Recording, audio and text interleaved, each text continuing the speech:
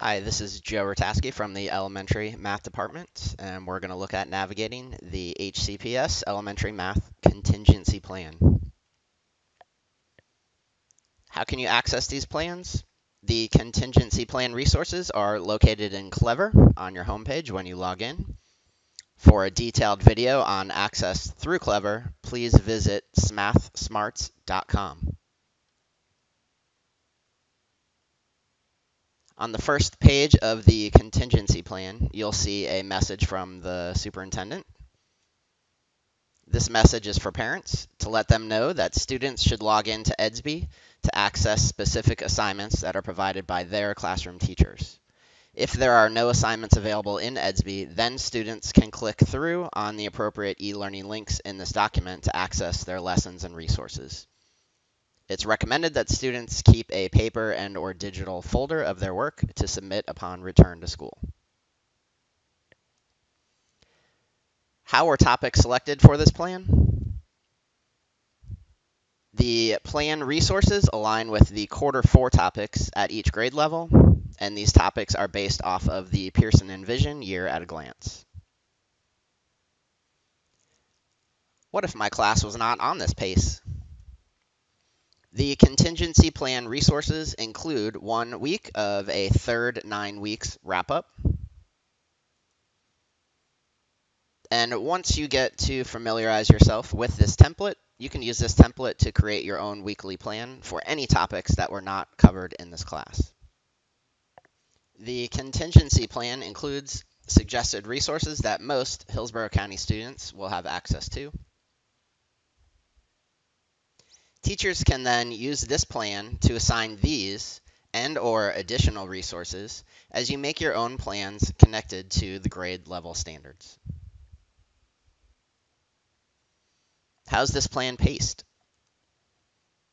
The plan includes resources for five days for every week, and the plan will eventually include all of the weeks to align to each quarter four topic throughout the end of the year.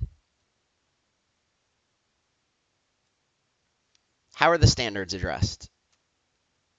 For each week, you'll see the plan includes the relevant Math Florida standards. And each of those standards are linked to our smarts.com standard snapshot pages. What resources are referenced on the plan? For students with internet access, the main resource will be the Envision Interactive Student Book. Students can access this through Clever. Teachers or other stakeholders at the school sites can also assign these through the Pearson Realize app, also in Clever. For students without internet access, printable pages have been made available to all schools. Schools have been and they can print and create packets to be handed out to parents. Clicking on any of these links will also bring you to PDF versions of the pages. iReady is another resource that students can access from home.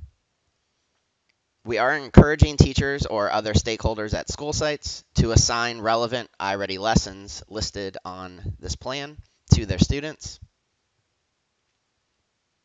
And of course, at any time, students may also access their MyPath lessons which were assigned to them based on their diagnostic data in iReady. Additionally, in this column, Ready Toolbox resources will also be referenced. These include practice and problem-solving pages, as well as primary centers.